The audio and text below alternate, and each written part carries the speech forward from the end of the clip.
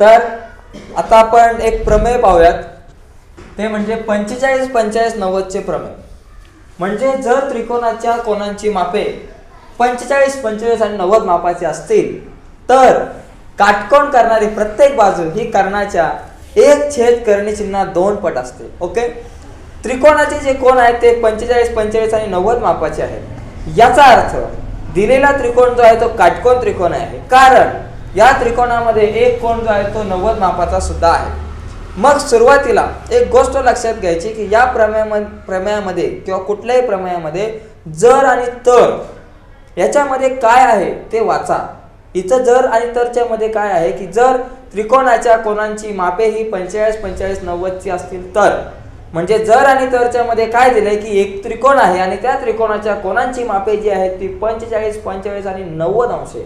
म्हणजे जर आणि तरचा विचार करून आपल्याला काय काढायचे? आकृती काढायची. मग आपण आकृती कशी काढायची? अशी काढा की त्रिकोण काढा. त्रिकोणाचे म्हणून त्रिकोण काढा. कोण कसे आहेत? पंचेचाळीस पंचेचाळीस नव्वद आहे म्हणून एक कोण नव्वदचा आणि दोन पंचेचाळीस पंचेचाळीसचे काढले. आकृती इम्पॉर्टंट आहे. आकृती नाही काढली पक्ष साध्य सिद्धता सगळं लिहिले भोपळा मिळेल. झिरो मार्क मिळेल. त्यामुळे त्यामुळे आकृती महत्वाची आहे. आकृती काढायची. यानंतर काय लिहायचं? पक्ष. आपलं पक्ष भूमितीवर लक्ष. ओके? पक्षामध्ये काय लिहायचं जे आकृतीमध्ये दिसू राहिलंय ते पक्षामध्ये लिहायचंय. काय काय दिसतंय आकृतीमध्ये? की बाबा एक त्रिकोण दिसतंय. त्रिकोण त्याचं नाव आहे एबीसी सी मध्ये. या त्रिकोण ए बी सी मध्ये काय दिलंय? तर कोण? ए बरोबर कोण? सी बरोबर किती आहे? पंचेचाळीस अंश. आणि कोण? बीचं माप जे आहे ते नव्वद अंश आहे. बरोबर का? साध्य. तर साध्य म्हणजे तरच्या नंतर जे असतं जर आणि तरच्या मध्ये पक्ष आणि आकृती. आणि तरच्या नंतर जे काही असेल त्यावरून आपल्याला काय काढायचे? साध्य काय करायचं ते लिहायचं. तर काटकोण करणारी प्रत्येक बाजू. काटकोण करणारी प्रत्येक बाजू काय? ही एक बाजू ही बाजू. या दोन बाजू काटकोण करतात. या दोघांचा मिळून काटकोण झालेला आहे. बरोबर? काटकोण करणारी प्रत्येक बाजू एक आहे ए बी आणि बरोबर दुसरी आहे बी सी ही प्रत्येक बाजू कर्णाच्या कोणाच्या कर्णाच्या कर्ण कोण आहे? एसी एसीच्या एक छेद वर्गमुळात दोन पट असते. म्हणून एक छेद वर्गमुळात दोन. म्हणजे आपण काय लिहिणार बाबा? की ए बी बरोबर बी सी बरोबर एक छेद वर्गमुळात दोन ए सी हे आपल्याला दाखवायचं आहे. ओके आता लिहूयात सिद्धता. कुठली ता? सिद्धता. सिद्धता खूप महत्वाची आहे आणि आहे आणि सोपी आहे. सिद्धतेमध्ये आपण लिहित असताना सर्वात पहिली गोष्ट या काटकोन त्रिकोणामध्ये काय दिलंय? तर कोण ए आणि सी एकरूप आहे. कारण पंचेचाळीस पंचेचाळीस मापाचे कोण आहे मग जर दोन कोण एकरूप तर एकरूप कोणासमोरच्या बाजू सुद्धा काय असणार? आहे एकरूप असणार. आहे मग जर ए आणि सी एकरूप तर ए समोरची बाजू बी सी आणि सी समोरची बाजू ए बी ह्या दोन्ही बाजू कशा असणार आहे? एकरूप असणार आहे. ओके? मग ते आपण लिहू की बाबा त्रिकोण ए बी सी मध्ये कोण ए बरोबर कोण सी कारण का? पक्ष. पक्षामध्ये दिले दोन्ही कोण कसे आहेत? एकरूप आहेत. म्हणून आपण लिहिणार म्हणून दोन कोण एकरूप? तर त्या समोरच्या बाजू ए बी एकरूप बाजू ए बी एकरूप बाजू बी सी कारण काय एकरूप? कोणासमोरील? कोणासमोरील बाजू. एकरूप कोणासमोरची बाजू काय असतात? एकरूप असतात. ओके मग आता ए बी आणि बी सी आपण एकरूप दाखवलं. आता एबीसी जो आहे तो काटकोन त्रिकोण आहे. आणि काटकोन त्रिकोण म्हटल्यावर एक खूप महत्वाचं प्रमेय जे आहे ते म्हणजे पायथागोरसचं प्रमेय.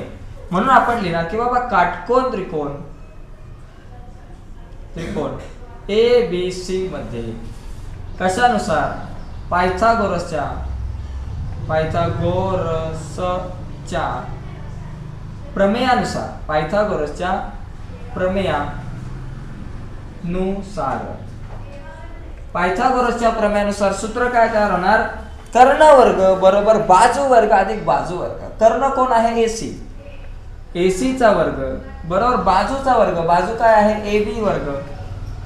अधिक दुसरी बाजू काय आहे? बीसीचा वर्ग. ओके आता एक गोष्ट लक्षात घ्या. ए बी आणि बीसी ए बी आणि बीसी दोघं जण एकरूप आहे मग तुम्ही ए बीच्या जागेवर बीसी लिहा किंवा बीसीच्या जागेवर ए बी लिहा काही फरक पडत नाही आपण ए बी जसाच्या तसा लिहू अधिक बीसीच्या जागेवर काय लिहू ए बी लिहू बिकॉज ए बी बरोबर बी सी किंवा एक वरून ओके आता ए बी ए बी काय कोबी बरोबर ए बीचा वर्ग अधिक ए बीचा वर्ग दोन ए बीचा वर्ग म्हणून इथे लिहिणार दोन ए बीचा वर्ग ए सी वर्ग बरोबर दोन ए बीचा वर्ग आपल्याला काय हवंय ए बी पाहिजे.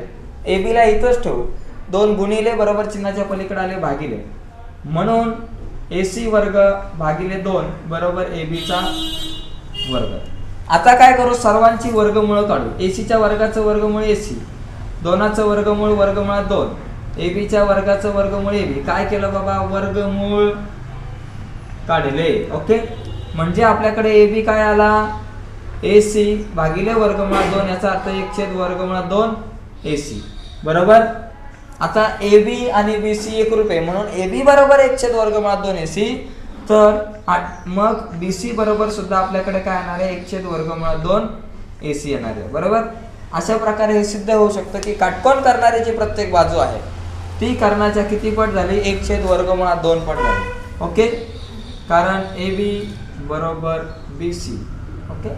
तर अशा प्रकारे आपण पंचेचाळीस पंचेचाळीस नव्वदचं प्रमेय सोडवू शकतो. मागच्या वर्षी हे प्रमेय आपल्याला तीन मार्काला आलं होतं. बऱ्याचदा चार गुणांसाठी सुद्धा हे प्रमेय विचारलं जाऊ शकतं. त्यामुळे महत्त्वाचं आहे. तर लिहून घ्या आणि हे प्रमेय लिहिण्याच्या अगोदर आपला जो चॅनल आहे तो सबस्क्राईब करा. आणि चॅनल सबस्क्राईब केल्यानंतर उजव्या बाजूला एक घंटीचं जे काही चिन्ह आहे ते बटन दाबा. कारण अनेक व्हिडिओ जे आहेत ते तुम्हाला वारंवार लवकरात लवकर आपण अपलोड केलेल्या व्हिडिओज तुम्हाला पाहता येतील आपल्या चॅनलवरती तर पुन्हा भेटू भेटूयात आपण लवकरात लवकर एक नवीन प्रमेय घेऊन. Okay thank you